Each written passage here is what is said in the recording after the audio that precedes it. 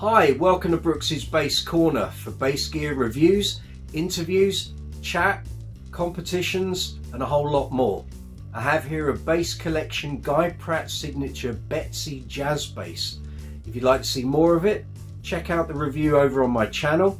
If you enjoyed the review, hit the subscribe button, hit the notification bell so that you get notifications when I post up new videos and please leave the video a thumbs up, I'd really appreciate it. Hit the uh, channel icon down below and it will take you straight through. See you soon.